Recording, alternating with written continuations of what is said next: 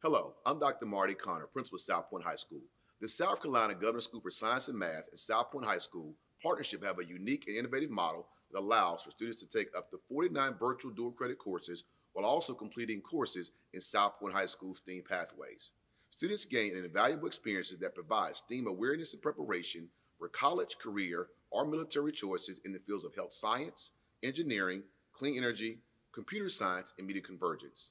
The GSSM and South Pointe High School partnership is successful because of the unparalleled alignment of the STEAM focus of both GSSM and South Pointe High School.